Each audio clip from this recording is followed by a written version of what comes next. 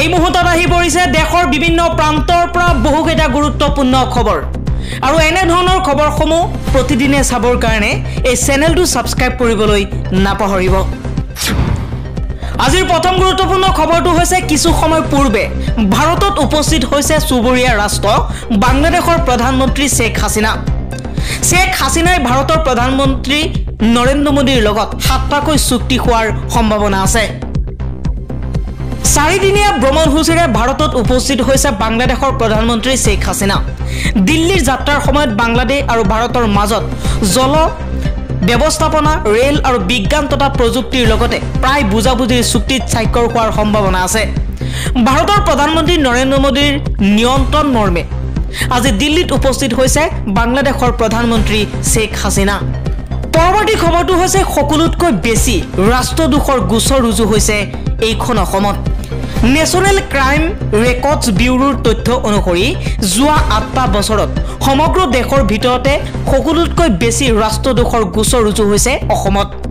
দুহেজাৰ চৈধ্য চনৰ পৰা ৰুজু হোৱা চাৰিশ পঁসত্তৰটা ৰাষ্ট্ৰদোষৰ গোচৰৰ ঊনসত্তৰটা অৰ্থাৎ চৈধ্য দশমিক বাৱন্ন শতাংশ গোচৰেই অসমৰ।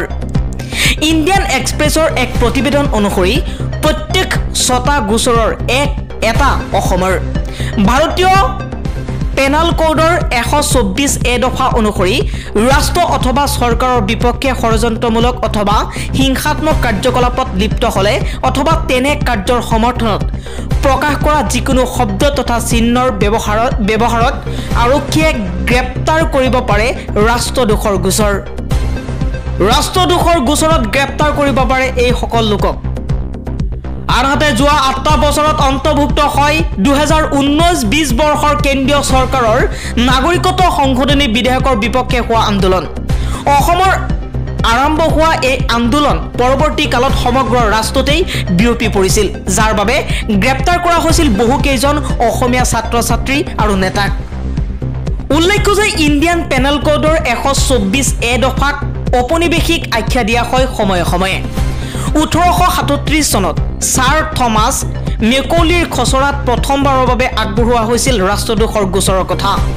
আৰু চিপাহী বিদ্ৰোহৰ তেৰ বছৰ পাছত ওঠৰশ সত্তৰ চনত ব্ৰিটিছ চৰকাৰৰ বিৰুদ্ধে ষড়যন্ত্ৰত লিপ্ত থকা লোকৰ বাবে প্ৰণয়ন কৰা হৈছিল আইনৰূপে।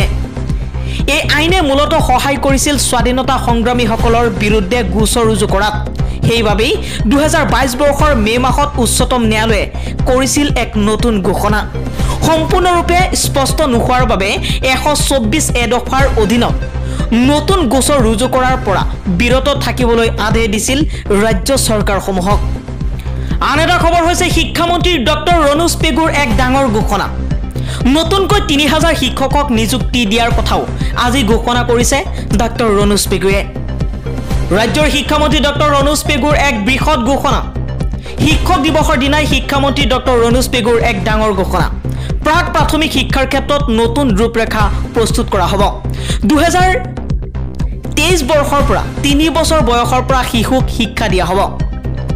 নতুনকৈ তিনি হাজাৰ শিক্ষকক দিয়া হ'ব নিযুক্তি। নতুনকৈ দুহেজাৰটা অংগনবাড়ী কেন্দ্ৰৰ কাম আৰম্ভ হ'ব।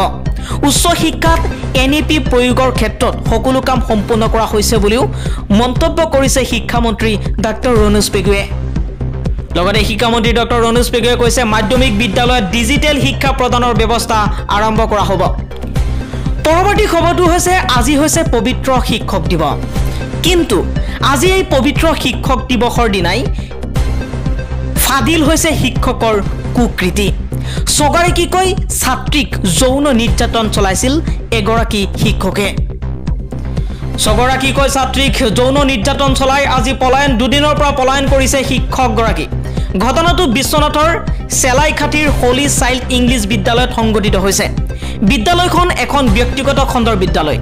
ঘটনাটো শুকুৰবাৰে সংঘটিত হৈছে। বিদ্যালয়খনৰ প্ৰদীপ চাংমা নামৰ শিক্ষকগৰাকীয়ে ছগৰাকীকৈ ছাত্ৰীক যৌন নিৰ্যাতন চলাইছিল। যৌন নিৰ্যাতনৰ যৌন নিৰ্যাতন চলোৱা আটাইকেইগৰাকী ছাত্ৰীৰে বয়স সাত বছৰৰ তলত। হোষ্টেলত থকা ছাত্ৰী কেইবাগৰাকী কেইবাগৰাকী ছাত্ৰীক নিৰ্যাতন চলাইছিল এই ভণ্ড শিক্ষকজনে। ছাত্ৰী কেইগৰাকী হোষ্টেলত আছিলে আৰু হোষ্টেলত শিক্ষকজনে যৌন নিৰ্যাতন কৰিছিল ছাত্ৰী কেইগৰাকীক। ঘটনাটো পোহৰলৈ অহাৰ পিছত শনিবাৰে শিক্ষকগৰাকীয়ে বিদ্যালয়খনৰ পৰা পলায়ন কৰিছে। অভিভাৱকসকলে আৰক্ষীক ঘটনা সন্দৰ্ভত আৰক্ষীক এজাহাৰ দিছে। বালিচাং আৰক্ষীয়ে বিদ্যালয়খনত উপস্থিত হৈ তদন্ত আৰম্ভ কৰিছে। জানিব পৰা মতে বিদ্যালয়খনত তিনি বছৰ ধৰি শিক্ষকতা কৰি আছিল প্ৰদীপ চাংমাই। প্ৰদীপ চাংমাৰ ঘৰ কাৰ্বি আংলঙত পৰৱৰ্তী খবৰটো হৈছে আজি শিক্ষক দিৱসৰ দিনাই শিক্ষক দিৱসৰ দিনাই প্ৰতিবাদত বহিছে শিক্ষকসকলে। খুদ শিক্ষামন্ত্ৰীৰ সমষ্টিতে আত্মহত্যা শিক্ষকৰ। এই মুহূৰ্তত জনাইছোঁ এটা ডাঙৰ খবৰ ভৱিষ্যত নিৰ্মাণৰ বৃত্তিত নিয়োজিত শিক্ষকসকলৰ সন্মানাৰ্থে আজি সমগ্ৰ দেশে পালন কৰিছে শিক্ষক দিৱস। বাদ পৰা নাই অসমো। পিছে এই পবিত্ৰ দিনটোতে ৰাজ্যৰ শিক্ষা বিভাগৰ চৰম ব্যৰ্থতা উদঙাই আত্মহত্যাৰ দৰে চূড়ান্ত পথ বাছি ল'বলৈ বাধ্য হৈছে এগৰাকী শিক্ষকে। এই চৰম ঘটনা সংঘটিত হৈছে খুদ ৰাজ্যৰ শিক্ষামন্ত্ৰীগৰাকীৰ সমষ্টিতে।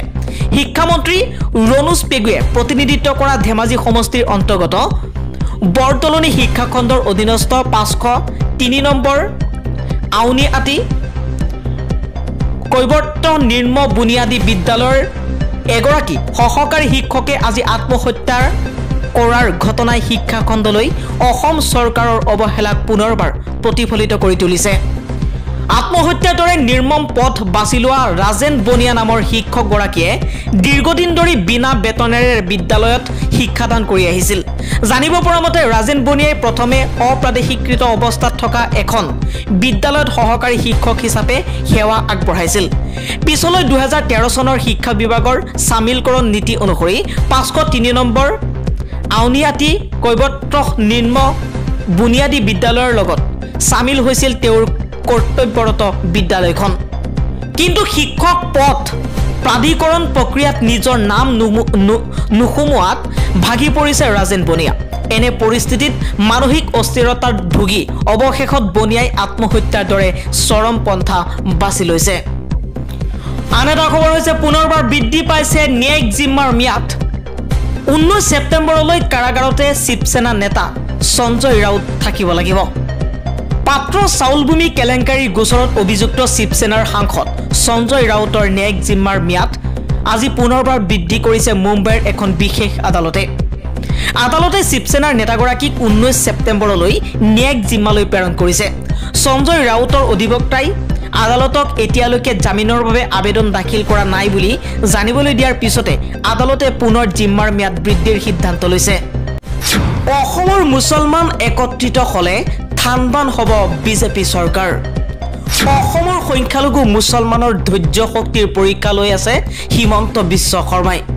এই বিস্ফোৰক মন্তব্য কৰিছে অসম সংখ্যালঘু সংগ্ৰাম পৰিষদৰ সম্পাদক নাজিৰ আহমেদে।